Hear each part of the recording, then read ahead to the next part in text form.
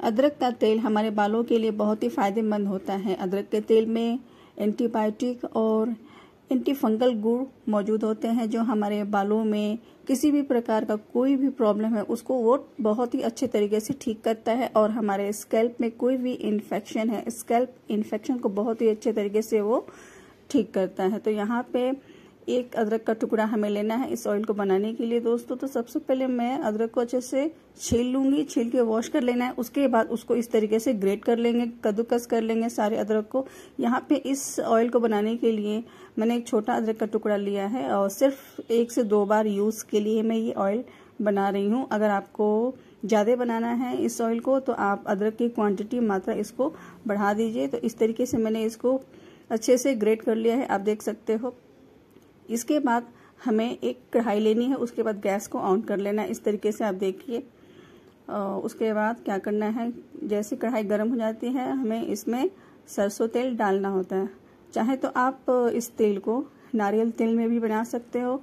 मैं यहाँ सरसों तेल में बना रही हूँ और इस ऑयल को थोड़ा सा गर्म हो जाता है तो उसके बाद इस तरीके से आप ग्रेट किए हुए अदरक को इसमें डाल दीजिए और इस बात का ध्यान रखें कि इस ऑयल को बनाना हमें धीमी आँच पे है, गैस को कम कर लेना है। तेल हमारी गर्म हो गई है, गैस को कम कर लेना इसके बाद मैंने अदरक को इसमें डाल दिया है, आप देख सकते हो।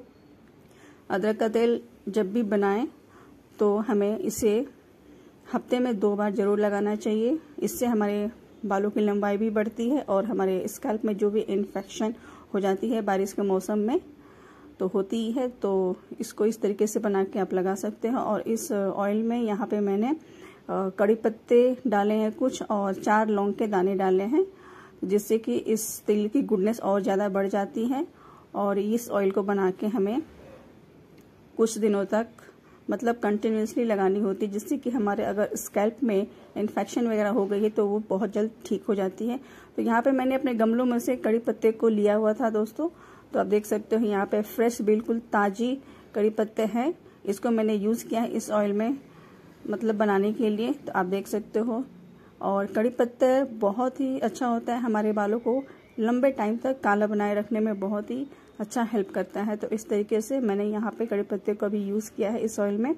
और इस ऑयल को अगर आप बना के कांच के कंटेनर में रखते हो, शीशी में रखते हो तो बहुत लंबे टाइम तक चलती है।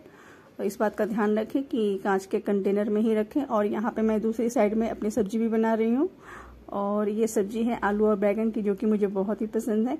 तो आप देख सकते हो, यहाँ पे मैं साइड में सब्ज़ी भी बना रही हूँ और ये ऑयल को सिर्फ़ चार से पाँच मिनट तक ही पकाना होता है। लगभग ये ऑयल हमारी बन के रेडी हो गई है। आप देख सकते हो हल्का सा सुनहरा गोल्डन ब्राउन हो गया अदरक। तो गैस को हम यहाँ पे बंद कर देंगे और जब ये ऑयल हमारी ठंडी हो जाती है तो उसके बाद हमें इसका यूज़ करना है। तो दोस्तों, अगर आप मेरे चैनल पर नए हो तो चैनल को सब्सक्राइब कर लीजिए, साथ ही बेल आइकन को भी प्रेस कर दीजिएगा, जिससे कि मेरी आने वाली वीडियो की नोटिफिकेशन आपके फ़ोन तक पहुँच जाए। तो यहाँ पे आप देखिए, अगर आपको वीडियो पसंद आई है तो शेयर ज़रूर कीजिएगा। और उसके बाद आप देखिए, इस ऑयल को मैंने यहाँ छन्नी से अच्छे से छान लिया है और ये ऑयल मेरी बन के रेडी हो गई है अपने बालों में लगाने के लिए।